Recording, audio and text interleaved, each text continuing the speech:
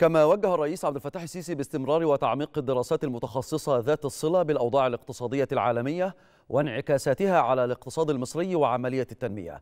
جاء ذلك خلال اجتماع الرئيس السيسي مع رئيس مجلس الوزراء ووزيرة التخطيط لمتابعة المؤشرات الاقتصادية في ضوء استمرار تداعيات الأوضاع العالمية. اجتمع السيد الرئيس عبد الفتاح السيسي مع الدكتور مصطفى مدبولي رئيس مجلس الوزراء. والدكتورة هالة السعيد وزيرة التخطيط والتنمية الاقتصادية. وصرح المتحدث الرسمي باسم رئاسة الجمهورية بأن الاجتماع تناول متابعة المؤشرات الاقتصادية في ضوء استمرار تداعيات الأوضاع العالمية. وقد استعرضت الدكتورة هالة السعيد تطور المؤشرات الاقتصادية على مستوى العالم في ظل تأثرها بتداعيات الأزمة الروسية الأوكرانية وتباطؤ معدل النمو العالمي وانعكاسات تلك التداعيات على النشاط الاقتصادي الوطني.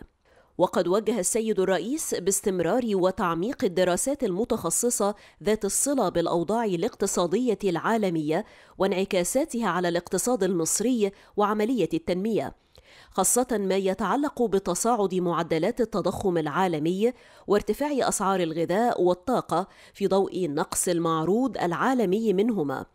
إلى جانب استمرار اضطراب الأسواق المالية العالمية وسلاسل الإمداد الدولية. وذلك بهدف الحفاظ على مكتسبات الجهود الناجحة التي تمت خلال السنوات الماضية في مجال الإصلاحات الاقتصادية.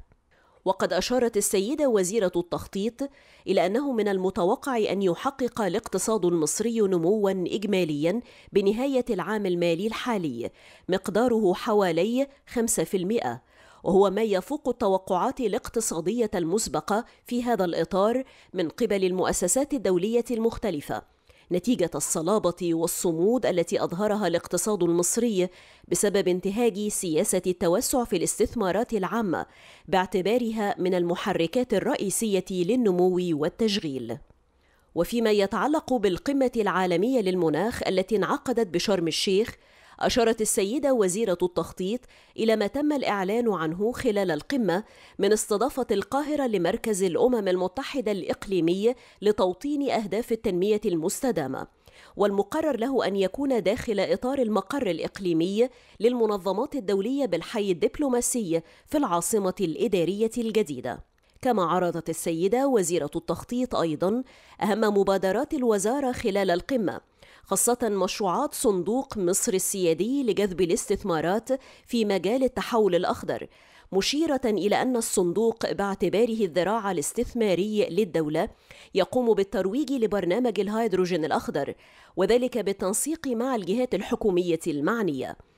كما وقع صندوق مصر السيادي خلال القمة على اتفاقية مع تحالف من القطاع الخاص لتأسيس أول صندوق للكربون بقيمة مليار جنيه والذي يهدف إلى تخفيض الانبعاثات الكربونية من خلال الاستثمار المستدام والتي ستساهم في دعم المشروعات المحلية التي تهدف إلى نزع الكربون مع وضع معايير محددة لقياس خفض الانبعاثات والتحقق من كمياتها.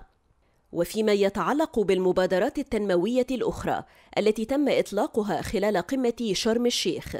أشارت الدكتورة هالة السعيد إلى المبادرة الوطنية للمشروعات الخضراء الذكية في مصر والتي يتم تنفيذها تحت رعاية السيد الرئيس. وذلك للتأكيد على جدية التعامل مع البعد البيئي وتغيرات المناخ في إطار تحقيق أهداف التنمية المستدامة. حيث ساهمت في إعداد قاعدة بيانات للمشروعات الخضراء الذكية وبناء قدرات الكوادر في هذا الخصوص. كما اطلع السيد الرئيس على تطورات دعم مصر للدول الأفريقية لمواجهة تداعيات التغيرات المناخية بهدف تحسين جودة الحياة في القرى الأكثر فقرا على مستوى القارة. وفقا لمعايير التنمية المستدامة وذلك في إطار مبادرة حياة كريمة من أجل تعزيز قدرة أفريقيا على الصمود في مواجهة تغير المناخ والتي ستتم تحت رعاية السيد الرئيس.